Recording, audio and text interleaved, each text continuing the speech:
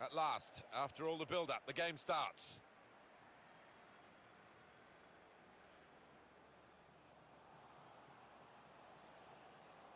Into the attacking third. He can put them in front. He scored! Fantastic start. Really quick off the blocks here.